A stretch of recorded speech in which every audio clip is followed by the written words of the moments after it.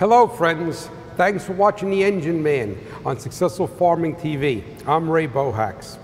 And, you know, we usually do segments on my part of the show and we show you how to take things apart or how to diagnose things.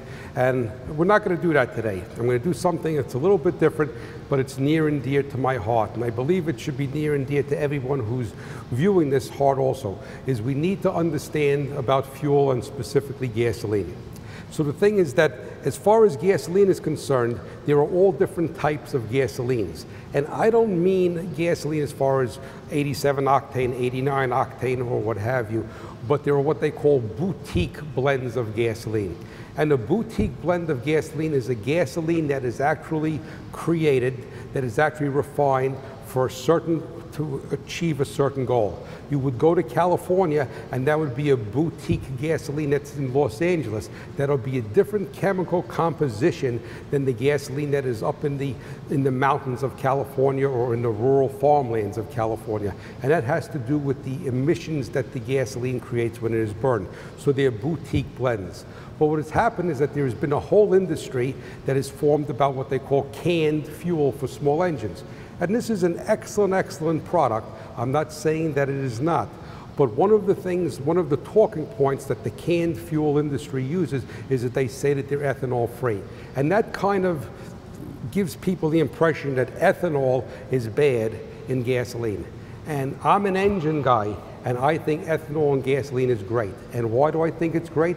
Because number one, it's an American fuel. Number two, it's a renewable fuel. And number three, it burns very cleanly. So all of this hubbub about ethanol being bad in gasoline is really has no basis whatsoever.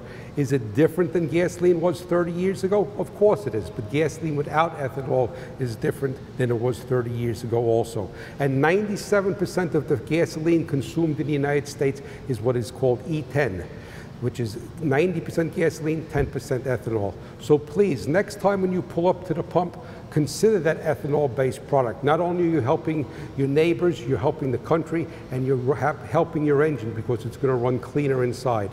If I can answer any questions on ethanol or anything else, please feel free to contact me at sfenginemanandagriculture.com. And if you're wondering where I am, I'm in Columbiana, Ohio, at the Firestone Farm Tires Test Facility. You have a blessed day and fill it up. After these brief messages, I track the latest values on late model combines so please stay tuned. Hi, I'm Dave Mowitz. Thanks for watching. If you like this video, hit subscribe right here if you haven't already, and click that little bell right here to be notified when we post a new video. And click here to see more great videos.